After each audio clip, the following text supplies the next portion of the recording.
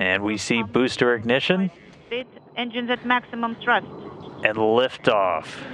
Soyuz MS-18 on its way to the International Space Station. 10 seconds, the booster parameters are nominal. Everything is good on board. Hearing nominal performance, the first stage delivering 930,000 pounds of thrust from those four first stage boosters and the single core engine. 30 seconds into the flight, the uh, parameters of the booster are nominal. Everything is fine on board. 40 seconds, uh, the vehicle is stable. Everything is good on board. Continuing to hear good performance calls. A quick look inside the capsule. You can see uh, the crew strapped in and monitoring displays as they continue on their way uphill. Just past the one minute mark into flight. Pitch, and roll are nominal.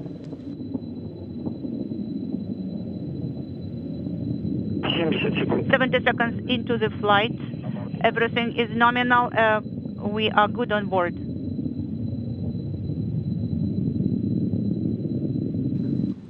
At this point, the space station had already flown over the Baikonur Cosmodrome and now making its way in front of the Soyuz spacecraft. The crew is feeling well.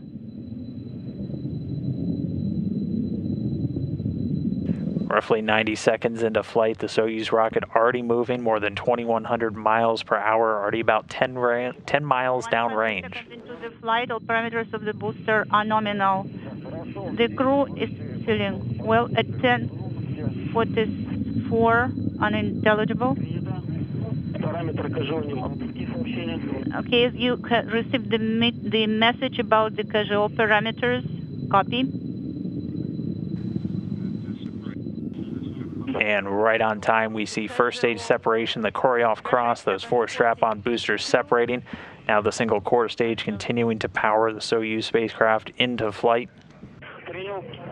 Copy. Just before that, the launch escape tower was also jettisoned. Soyuz does maintain escape capability all the way to flight, though, this stage able to use uh, for a short time uh, small boosters on the shroud itself, and then once the shroud detaches, able to use boosters on the spacecraft. Uh, so the shroud jettison is confirmed. We have controlled descent. And so we heard confirmation the launch shroud has jettisoned. In this animation, you can see the Soyuz spacecraft now exposed, continuing under the power of the second stage.